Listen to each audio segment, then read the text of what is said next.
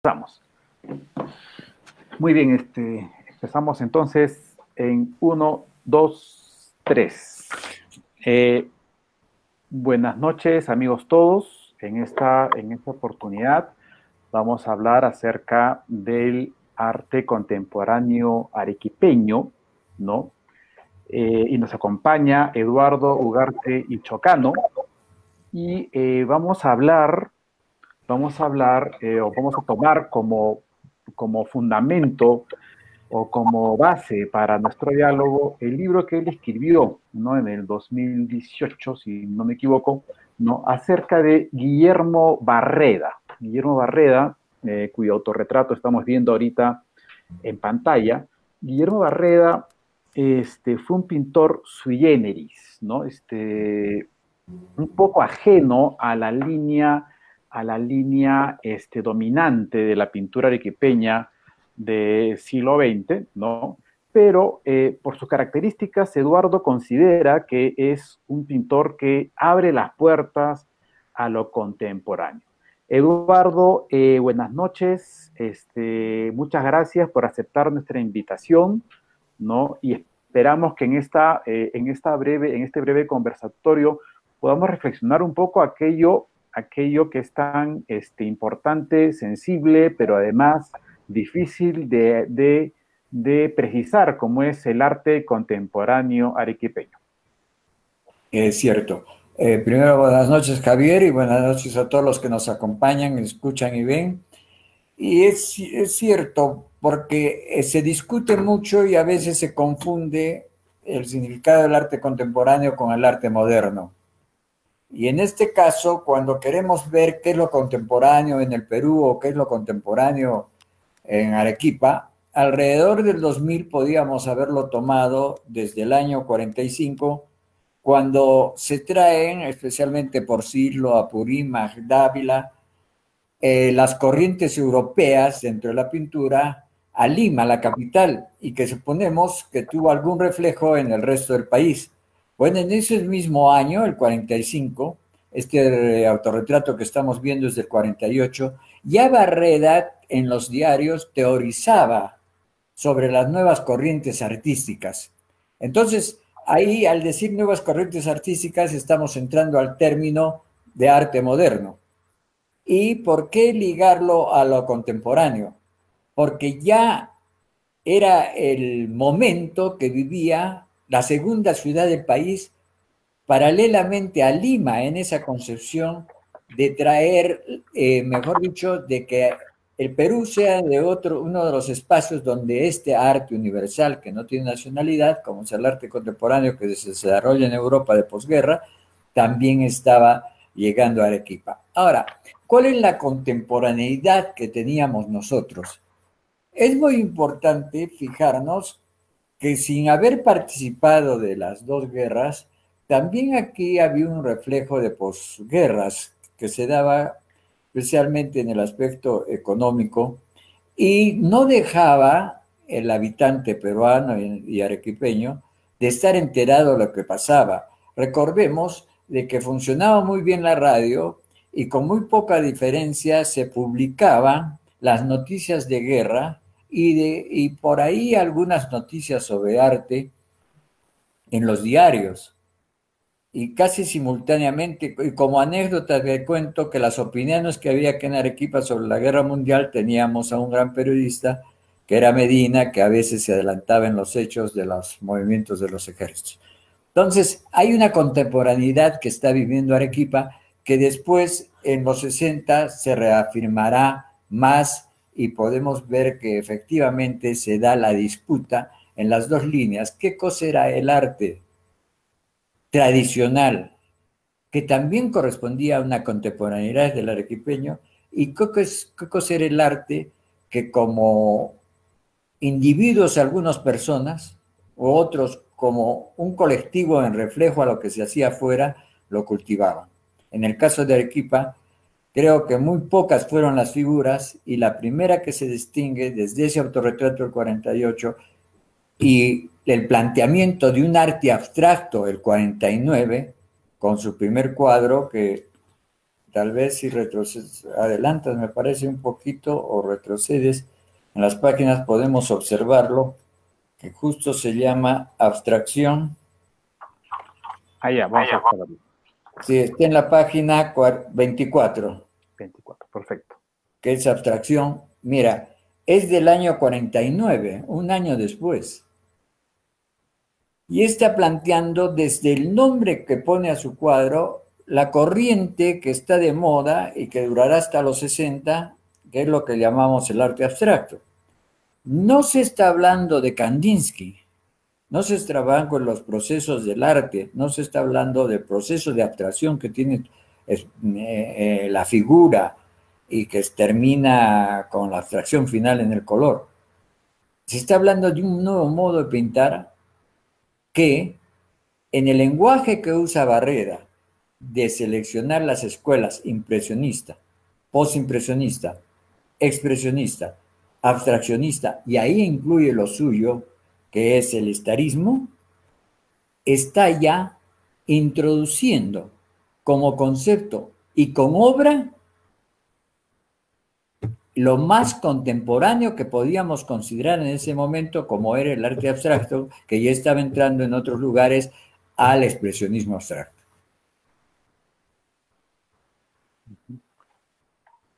Bien, este, acá, acá me surge una pregunta y me pongo un poco, poco de abogado del diablo, ¿no? Este, que es un poco mi función a veces en estos conversatorios.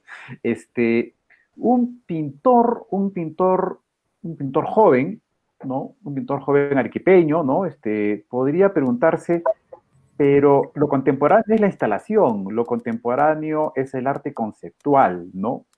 Este, ¿por, qué, ¿Por qué Barreda sería o puede ser considerado un pintor contemporáneo arequipeño? Ya.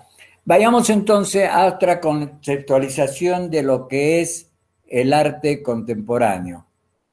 Eh, me baso en, lo, en Maslugan, que lo desarrolla muy bien Renato Baril. Para nosotros es más fácil tomar la clasificación escolar de las épocas, ¿no?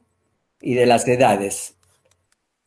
La edad antigua, la edad media, la edad moderna y la edad contemporánea. ¿Y cómo la fija McLuhan y Barili? La edad moderna comienza no como tradicionalmente se enseña con el Renacimiento y termina con la Revolución Francesa, sino la Edad Moderna la comienza con el descubrimiento de la imprenta y termina con el descubrimiento y la utilización de la electricidad. Entonces se está basando en una división dentro de la tecnología. Y de la electricidad hacia arriba habla de la edad contemporánea. ¿En qué momento muere ya que hablamos ahora de posmodernismo y no hablamos ya tanto de lo contemporáneo que no sea para decir que es de nuestra época, que es de eh, lo coetáneo? Cuando se habla ya en una transformación de la electricidad a lo informático y ahora a lo digital. Pero no deja de entrar dentro de esa gran división que es lo contemporáneo hasta que no encontremos un final de esto y podamos hablar de qué? ¿De lo postcontemporáneo? No, pero igual será contemporáneo. Entonces, en ese momento, si dentro de esta clasificación la tecnología tiene que ver mucho y está influyendo en las artes y especialmente en este caso en la pintura, vemos que lo que nos viene de Europa es el, futurismo tiene que ver con la velocidad tiene que ver con las máquinas. Y solo se ven los resultados, no tanto en el aspecto teórico como en el aspecto de la exposición de esto en las pinturas. Y lo que se está observando es esa superficialidad. Entonces, ahí es cuando, que creo un poco me he salido de la respuesta en realidad, ahí es, cuando realmente un joven podría darse cuenta de que sí, todo lo que hacemos ahora es lo contemporáneo, pero dentro de una historia del arte, dentro de esto contemporáneo, lo único que puede sacar de las palabras son términos como vanguardias, primeras vanguardias, últimas vanguardias, o lo que se dio en hablar después con interpretaciones a través de el estructuralismo, eh, el gran cambio que hay, y acá sí, me gustaría hacer este salto.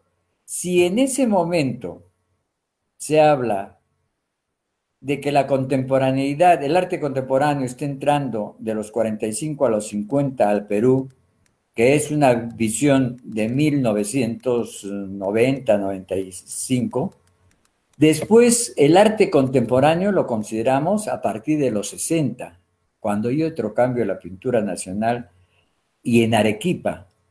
Y ahora podemos hablar de que, eh, en la historia universal se habla de que el arte contemporáneo comienza, ya para hablar de autores y no, no de fechas, con Duchamp, pero después avanza el tiempo y ya se le fija en otra época que prefiero yo hacer la nuestra en este momento, cuando comienza a aparecer el minimalismo, o sea, con Bob Morris y después el art y y el arte conceptual. Eso sería lo que entendería el joven al hablar de que son las instalaciones, que son las nuevas expresiones, la gran eh, el, el, transponer los límites del color hacia el espacio con Morris, el utilizar eh, el globo terráqueo o los, eh, los paisajes naturales como lugares para hacer el hangar, mm, el arte conceptual, pero también eso, y eso te lo puedo hacer ver en este momento, hoy día estamos haciendo exposiciones contra el arte conceptual y es el título de una exposición que se está desarrollando ahora en una galería española. Entonces, es saber que en el aspecto de la historia del arte no hay tan marcadas las, eh, las diferencias y hay que distinguirlas por los movimientos que se dan en el arte. Ahora, utilizando tus mismos términos como abogado del diablo, ¿por qué entonces tengo yo que considerar que las instalaciones o el body art o eso caracteriza lo, caracteriza lo contemporáneo? No han desaparecido las dos dimensiones de los cuadros. Entonces no es la forma en que te expresas artísticamente necesariamente. Mira, ya que me hablas de un joven, te pongo dos ejemplos de arte contemporáneo de arequipeños. Uno, lo que acabamos de inaugurar en Lima, de Nereida Pasa, que también tuvo una excelente exposición en el cultural. Te está utilizando las dos dimensiones y tecnologías como es la serigrafía, el bordado y también elementos del dibujo propiamente dicho y hasta del dibujo técnico como son sus planos, que llama más bien mapas Manuel Bunive, ahí está, esto, es muy expresivo y corresponde, y está en las dos dimensiones, pero es una expresión totalmente contemporánea. Si vemos causa y raíces, eh, eh, yo estoy, la ubicación mejor para saber dónde estoy es un plano alrededor de cosas que me confunden en mi estar, para hablar del estarismo, volver a, Barreda, como es en un crecimiento de una, el plano de un urbano, de algo que, ha crecido en desorden. Y en el otro lado, otro contemporáneo, que es mm, Miguel Cordero. Cuando hacen, para hablar solo de exposiciones, no de lo que está haciendo ahora en el río o con el poemario que se hizo y se presentó también en el cultural. ¿Qué es lo que hace con Jedeque, el retorno del Cordero? No es tan bien como esa búsqueda de yo soy o la violencia que presenta Nereida en la búsqueda de su identidad, y en que toma su apellido como lo primero y si hasta dice soy un animal y crea un simbolismo alrededor de eso,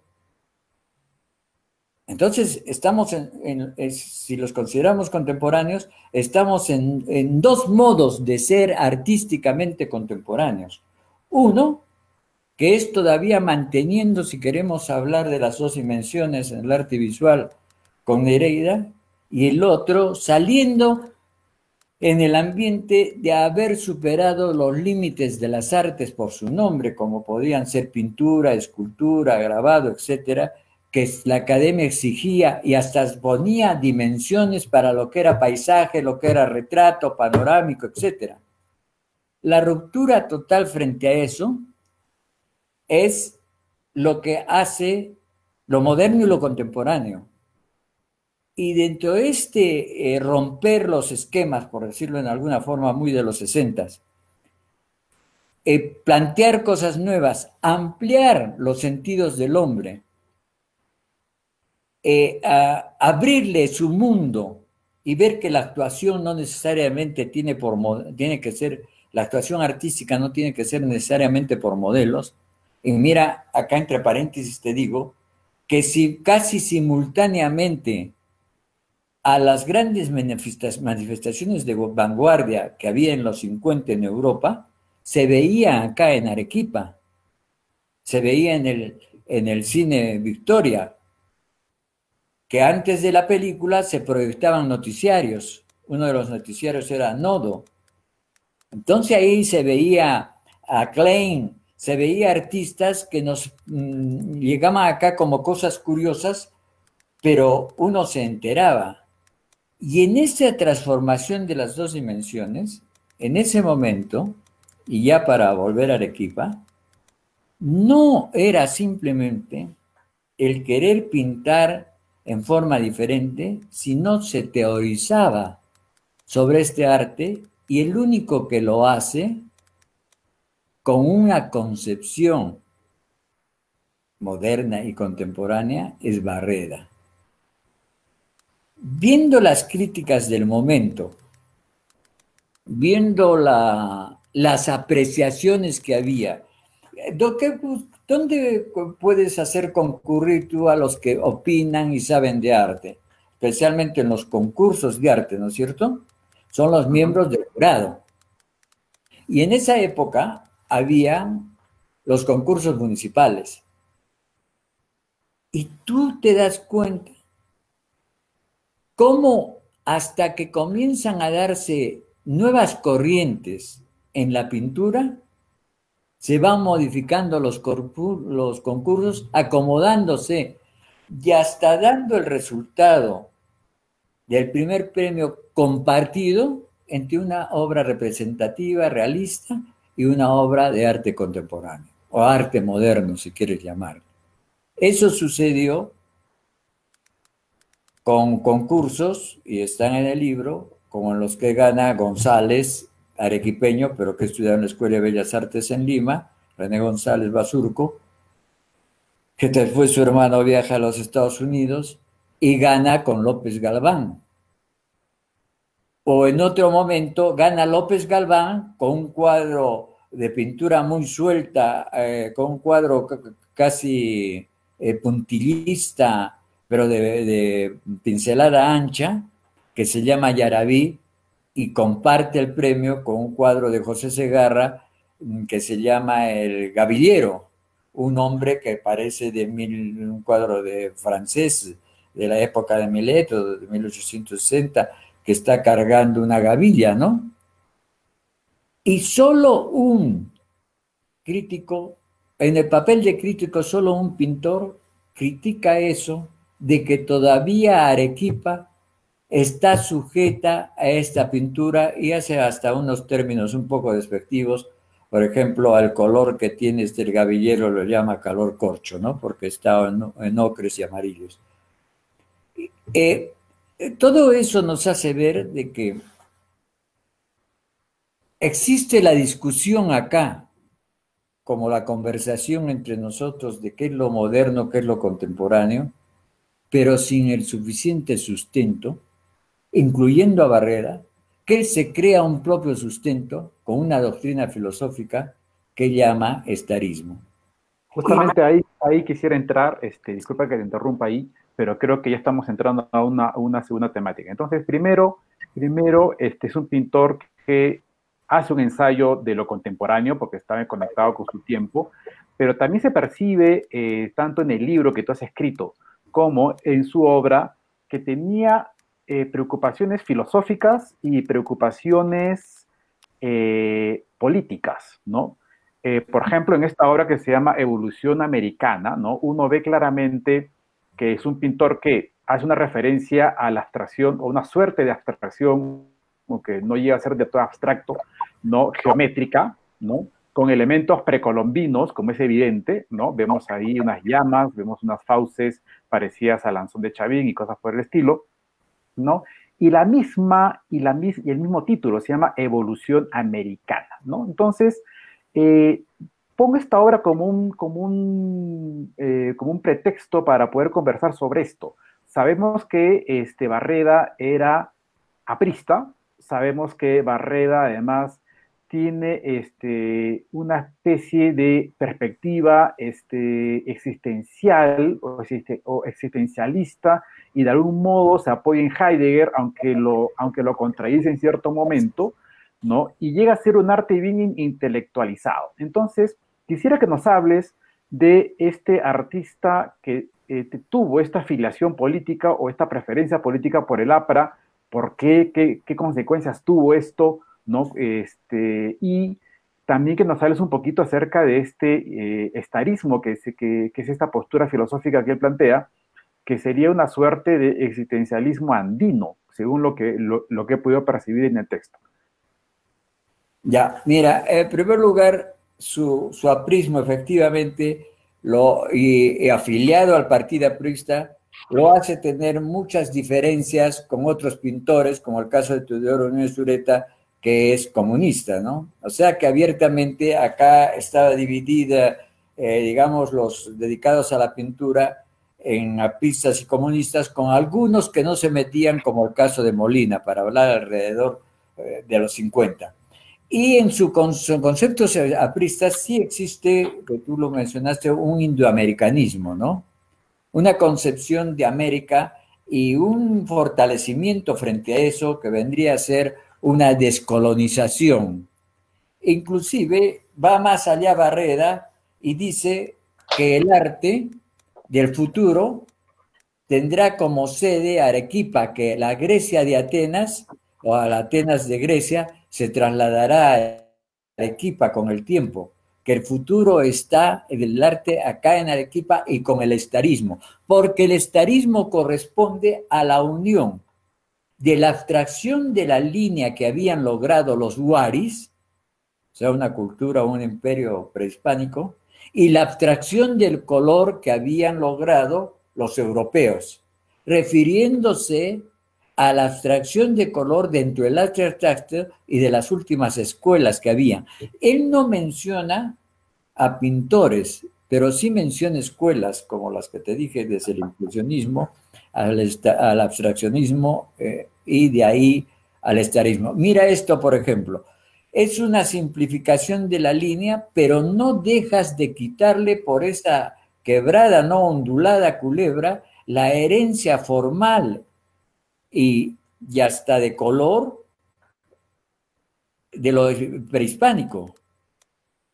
Él comienza a observar esas figuras y cree que el color, bueno, ¿qué la palabra cree? Y sostiene que el color es lo que pone Europa al haber logrado abstraerlo. Ahora, ahí viene, ¿cómo puede hablarse de la abstracción de color si en principio los colores son conceptos abstractos, no? Pero ¿por qué lo menciona Barreda? Porque en lo que él propugna, el color para él solo es un, sostén, un sostén que, va eh, separando las formas. Él dibuja más con el color que con el lápiz o lo que llamamos en sí dibujo. Él trata que, que el color sea lo que determine en sus planos, a diferencia de lo que estamos viendo, que ahí la línea es la que determina dónde está eh, eh, de, línea y le da continente a los colores, ¿no es cierto? En los internos, pero en los exteriores, y acá voy donde los límites del azul con el anaranjado o rojo, y ahí voy a entrar al estarismo. Él habla, y lo expresa así en su pintura, que hay un interior y un exterior. Y en el término de comunicación o tránsito en ellos se da el estar, que es lo que también físicamente lo considera el ámbito. Y en sus cuadros, que tal vez si pasas alguno más adelante lleguemos a ver, a uno de los cuadros estaristas, porque esto para mí antes que estarista es más una abstracción con bases. Ahí tenemos uno, de lo, me parece que es del 79, ¿no? Sí, sí. Y del 79. Mira, estas ondulaciones que los, llama esferogramas, son eh, la, conjunción de lo interior y lo exterior que se van comunicando. Más lo expresa con sus círculos, ¿no?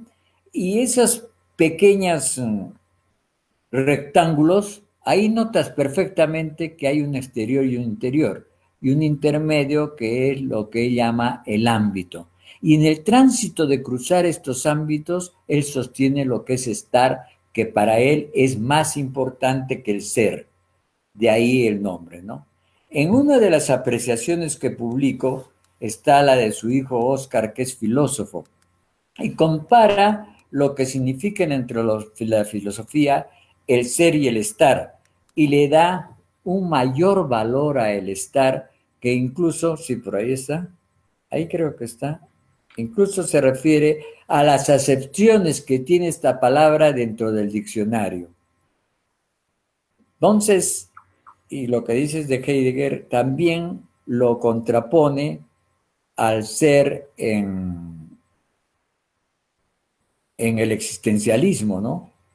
Por eso el pintor que lo acompañó mucho en sus caminatas, viajes y pinturas al aire libre, que es el pintor y poeta Alberto Vega, habla de que él sería el primer existencialista, y esto lo repite el doctor Walter Medina, es eh, magíster en filosofía.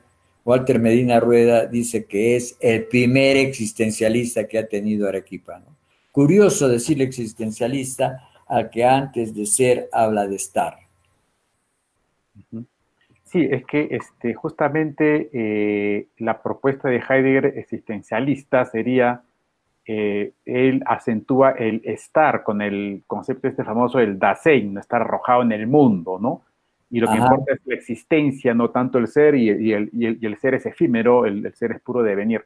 Entonces, acá, acá también te hago este, eh, quisiera así este, eh, hacer una pequeña precisión, a ver tú qué piensas.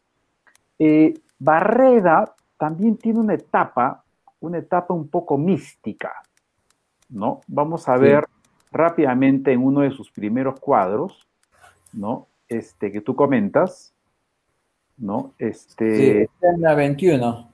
En la 21, perfecto. Este acá, ¿no? Sí, Jesús Cristo. Así es. El 52. Claro.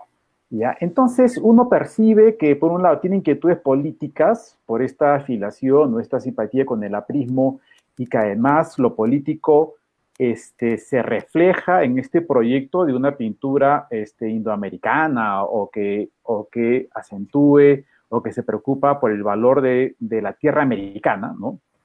que fue una idea muy típica de los apristas. ¿no? Una nueva nación, ¿no? Este, una patria grande, ¿no? Este, como, como diría Martí, ¿no? Este, también hay un componente filosófico, hay un componente filosófico con este estarismo, que es esta, esta filosofía que acentúa el estar en vez del ser y que, como tú bien has mencionado, sería una suerte de existencialismo, ¿no? Y ese estar además está, es una encarnación del existencialismo en una realidad andina, según lo que, lo que yo pude percibir, ¿no? Y además hay este componente medio místico, ¿no? Que sí escapa un poco a la, a la mirada, a la, mirada existencialista. No sé qué piensas de esto. Sí, es que no hay que olvidar también que no es un militante del existencialismo con un sustento teórico, Barreda. Y además era un poco que despreciaba cuando lo hablaban de Heidegger. Sí, claro. Y era profundamente católico, aunque a veces decía eh, que Dios no, no era un ser, pero que Dios estaba, no, que existía Dios por, por estar. Y que también cito una frase sobre eso. Y en esta interpretación mística, que la repite después en un cuadro que hace de la última cena, donde solo pone cabezas y lo vuelve una figura transparente a Jesús, tenía un sentido de la religión que iba más allá del rito. Más era así, como tú señalas, un misticismo, antes que una, un acercamiento a, Dios y en este caso a Jesucristo en la descripción que se hace sino era a lo que simbolizaba. Para él es un ser profundamente espiritual sin dejar de ser hombre. Si tú observas ahí, la figura verde es un hombre totalmente eh, destrozado, por decirlo en alguna forma, ¿no? Destrozando, destrozado por tiempo o por clima, por lo que quieras. El color verde es el color que más se acerca a la podredumbre, ¿no? Y a la vez los otros colores luminosos, esos dorados, esos, habla de la espiritualidad de Jesús y lo saca de un momento que tal vez es el principal aporte que él da en este cuadro, de la cruz. No lo descrucifica, pero transforma la posición de la cruz con esas manos, las manos rojas, que están con el dedo hacia adentro como en la bendición tradicional, ¿no? Y las otras que e-, eleva hacia arriba son de súplica, de una súplica retorcida, que puede ser el ¿por qué me has abandonado? Mira cómo tiene la posición los dedos. Y eso lo vemos en otras interpretaciones que hace. Hay un cuadro que me parece que no lo he colocado acá, de que cuando hay una gran sequía, no, eh, tiene que ver algo con el río, él trae, eh, eh, pinta un cuadro en que le incluye a la Virgen de Chapi, pero ya sin ese carácter espiritual, por decirlo en alguna forma, o místico, como lo dices tú, sino con un carácter alegórico, para que distingamos ahí que en su interpretación artística, tiene lo que es describir y lo que es eh, eh, describir, refiriéndome al hecho este de que se considera un milagro de la Virgen frente al río o, frente a una sequía, no recuerdo perfectamente bien, y en este caso a una figura universal que le da una reinterpretación él según sus propios conceptos. Lo que llama la atención más bien es las dos figuras que pueden ser padre y madre, María y José, si quieres llamarlo, aunque en la crucifixión no está presente José, pero sí María, en la similitud que tiene, y volvemos ahí ya a épocas anteriores a, la época que, en que vive Barreda, en que está usando el esquema de, las, de los cuadros que se hacía como ofrecimiento en la pintura cusqueña que eran los oferentes los que se pintaban, ¿no? A los costados. Los, claro, los devotos, los adevotados. Sí, ¿ves?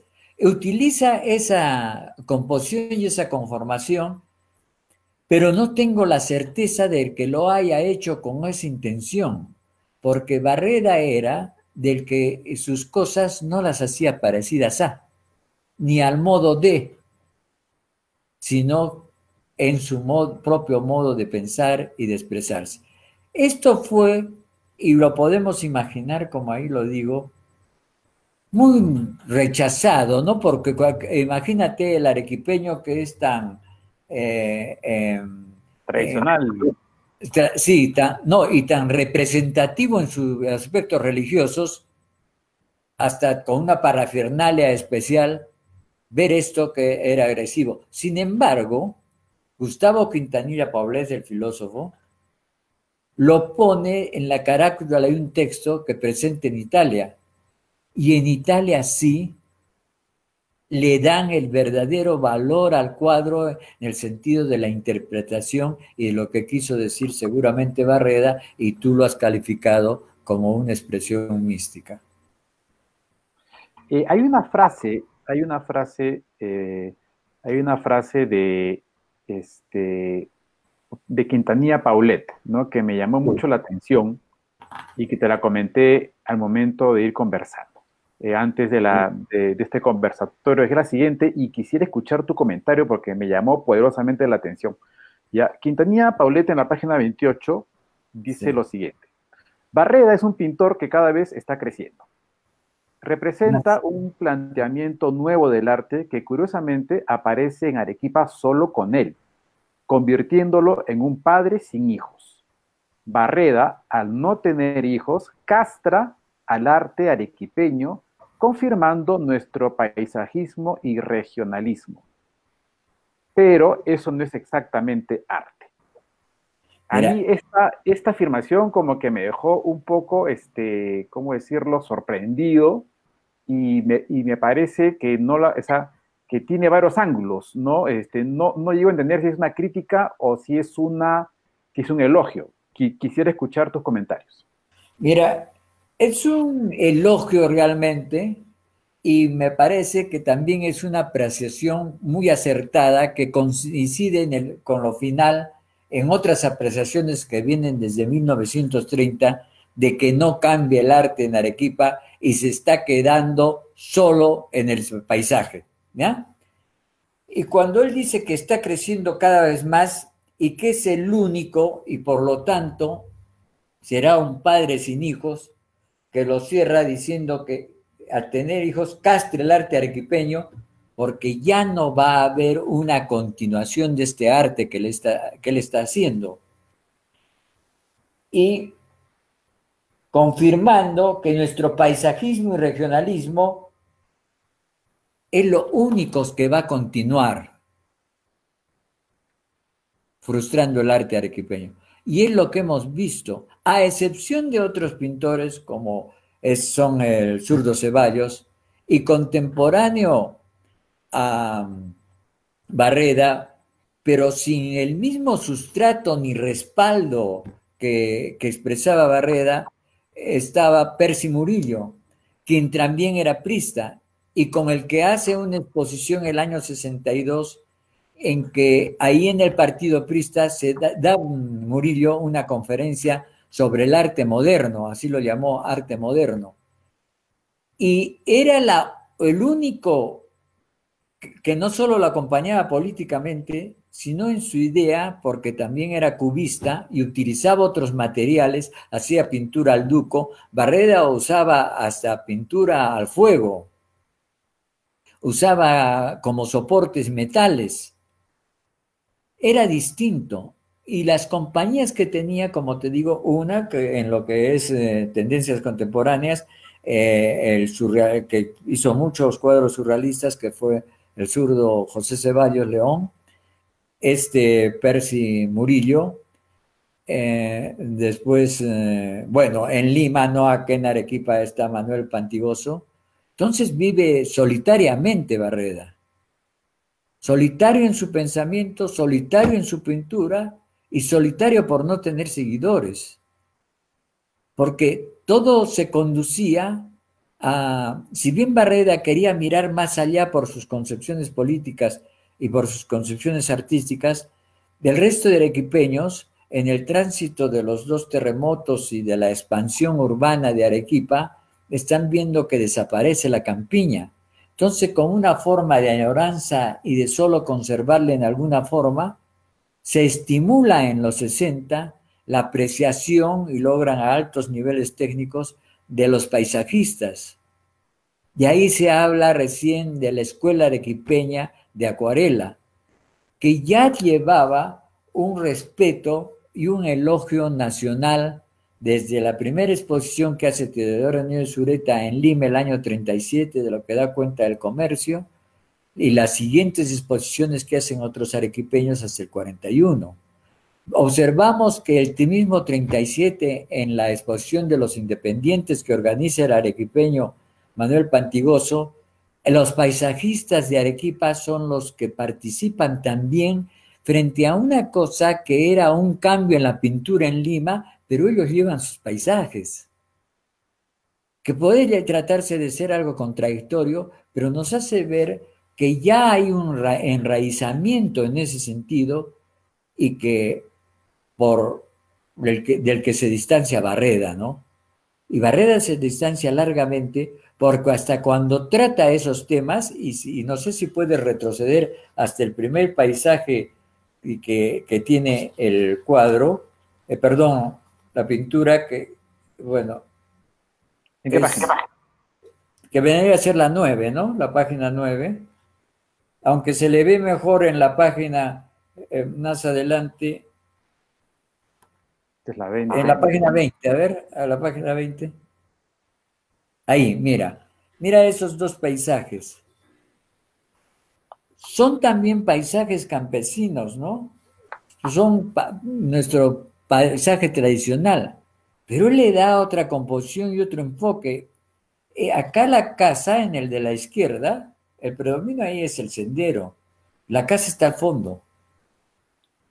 Los árboles crean cierto equilibrio, pero no es, eh, más es eh, la fuerza de la pincelada que el propio motivo representado, como en el lado derecho la combinación de cálidos y fríos, el partirlo en diagonal, que generalmente él parte a la mitad sus cuadros, ¿no?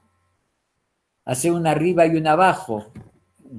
Nunca habló de Lurin y el Anan, pero así divide la mayoría de sus cuadros. Y se pinta en ese momento, mira, en los paisajes es distinto y ya llegamos a emparentarlos con las corrientes y las vanguardias que, eh, de las que él estaba alejado con el nombre, porque él solo, habla de escuelas, ¿no? Y también habla de movimientos, pero no los considera. Bien, este, eh, acá tengo yo una, una apreciación y quisiera escuchar tu opinión. O sea, según lo que venimos conversando, este, acá yo recojo eh, algunas ideas, sobre todo de Rebasas Oralus. ¿no? Este autor dice, que lo contemporáneo es lo vigente, ¿no? Es lo vigente, ¿no? Y es por eso que lo contemporáneo en, el, en los años 40 o en los años 50 era la preocupación, por ejemplo, por la guerra mundial, ¿no? Era, era un, tema contemporáneo en ese momento, ¿no? Una preocupación que estaba a flor de piel, ¿no? Eh, y en ese sentido, Barreda me, parece que fue un contemporáneo de su tiempo, ¿no? De, los, de la década de los 60, de los 50 hasta los 70, 80, ¿no? Porque, eh, pero me parece que fue un contemporáneo moderno. ¿A qué voy? El proyecto modernista vendría a ser o un, pintor moderno o un agente cultural moderno, como, este, por ejemplo, Mariatti, por ejemplo, ¿no? tenían esta idea del el movimiento a la ofensiva cultural que unía política, filosofía, arte y en una mirada de transformadora de la realidad, que me parece que algo de eso tiene Barrera, que, yo creo que es un gran aporte, ¿no? Así es. Este, pero, pero pensaría o tendería yo a pensar que no es la contemporaneidad posmoderna en la cual ya no hay la intención de hacer un movimiento unitario, y un movimiento, este, ¿cómo decirlo?, este, eh, culturalmente estructurado. Cuando uno lee a Mariatti, por ejemplo, percibe que hay una, hay una filosofía que sustenta una estética, que sustenta una política. O sea, hay, una, hay, una, hay un constructo ideológico potente, ¿no? Eh, cosa que ahora más bien es la filosofía del fragmento, ¿no? Y quizás la moral del mercado, y quizás este, Quizá esos son los elementos que hablan de, lo que se llamaría lo contemporáneo, si se le puede decir de alguna forma. Es por eso que me parece que es un pintor en un sentido también altamente intelectualizado. A algunos les puede gustar, a otros no, ¿no? Este, y en ese sentido, este, me parece que, que, una de las razones por las cuales quizás se quedó solo es porque entender, o sea, para entrar a su obra había que penetrarla a través de una mirada intelectual muy consistente, ¿no? Según lo que estamos conversando, ¿no? Eh, no sé qué piensas de, de, esto último que te he comentado. Sí, es cierto. Eh, lo que dices es bien cierto. Y mira, si hablamos eh, de vigencia, solo se separa de los otros, ¿ah? En el sentido de que, ya, y ahí volvemos a darle la razón a Quintanilla, los otros vienen a ser un retraso, por más que sea permanente en Arequipa el cultivo de nuestro paisaje, aunque ya está variando las cosas, etcétera, ¿no? Y él refleja también la lucha ideológica que hay entre el APRA y el llamado comunismo. Él refleja también eh, la lucha ideológica expresada en conceptos artísticos cuando el sector comunista dice que debe estar al servicio del pueblo y si bien no los apristas, el otro dice que es un arte degenerado, ¿no? Que el arte moderno de la época, el haber dejado al hombre a un lado, sin embargo, Barreda engrandece la concepción del hombre en su proyecto muralístico. Cuando hace confluir lo que tú dices y esa vigencia, él propone a la municipalidad, en la época en que está, me parece, Ramírez Alfaro, hacer un mural de 25 metros en el portal de la municipalidad con la historia del hombre, dando lugar a nuestra parte en esa historia con nuestra cultura prehispánica. Si hablamos de vigencia, es el momento también en que se está reconociendo ya no a través del indigenismo, ya no a través de estudios aislados, sino como una individualidad con valores propios fuera de la comparación con lo que se llamaba civilizaciones, a nuestras culturas primitivas. Perdón, qué feo decir a nuestras culturas primitivas, a nuestras culturas prehispánicas. Y también es el momento en que ya después de los terremotos del 58 y 60, Arequipa se ha reconocido como una ciudad con un gran patrimonio en nuestra arquitectura colonial. Y acá me voy a permitir utilizar en la historia de Arequipa, para llegar a ese mismo momento de los 60 en que está exponiendo y, luchando contra todo Barreda, la aplicación en nuestra ciudad del término moderno y haría entender mejor la posición de Barrera.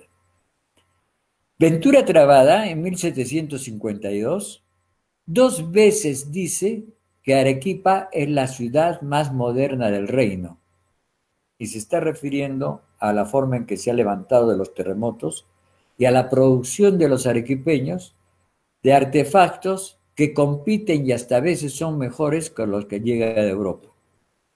Dos veces habla de la modernidad. En 1834, Flora Tristán habla y escribe de que Arequipa es una ciudad moderna, la más moderna que ha visto.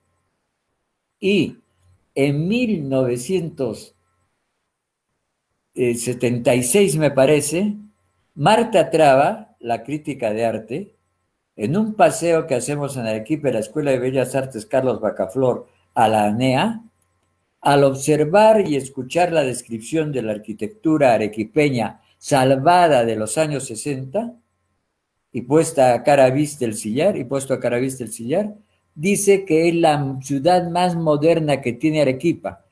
Y ante la sorpresa y la pregunta de por qué moderna, dice porque es la ciudad que acaba de, hacer, de, acaba de ser puesta en valor y no en un valor recuperado, sino en un valor de eh, producto de una concepción.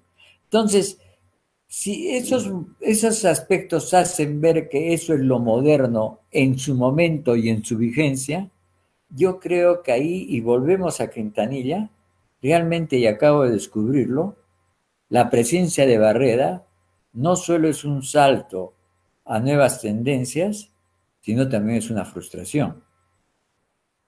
Porque no encaminó la pintura en lo que él podía haber abierto como camino, sino solo quedó como un maestro venerable y que no se entendía todavía los valores de su lucha personal como también su producción pictórica.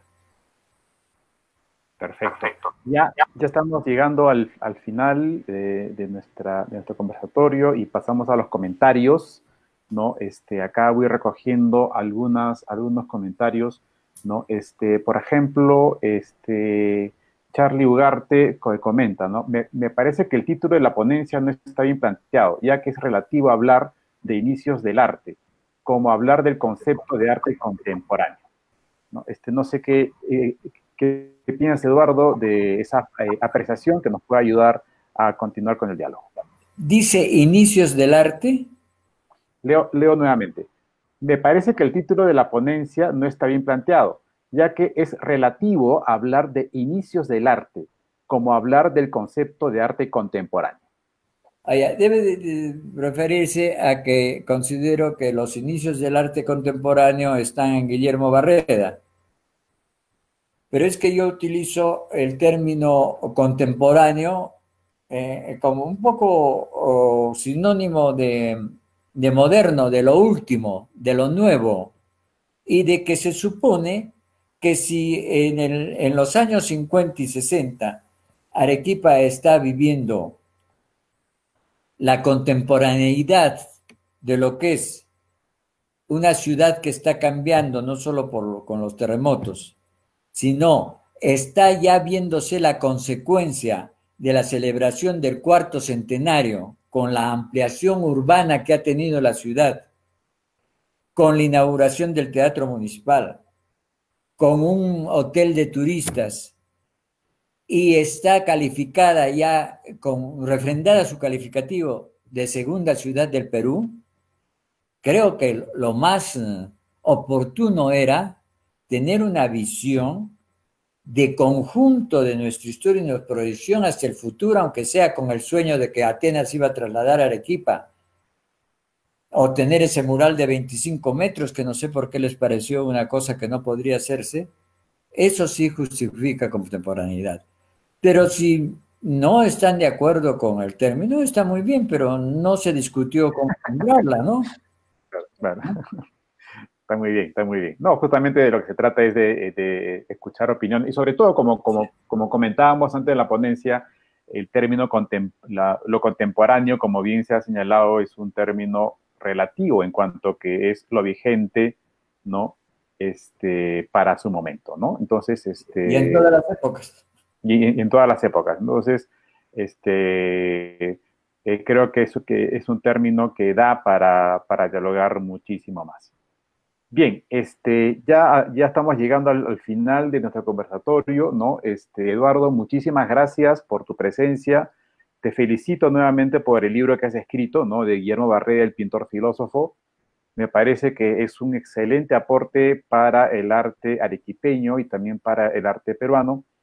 Y este, yo te animo a que sigas con tus investigaciones porque de alguna manera este, se están aportando mucho al debate, al diálogo cultural en nuestra ciudad.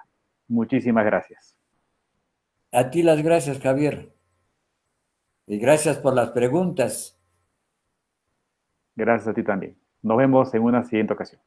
Así será. Bueno, amigos. Eh, hemos tenido este diálogo con Eduardo Ugarte Ichocano, ¿no? Sobre Guillermo Barreda, ¿no? Eh, les agradecemos su presencia, les agradecemos que nos acompañen en todas nuestras actividades culturales, ¿no? Este, y nos vemos en una siguiente ocasión.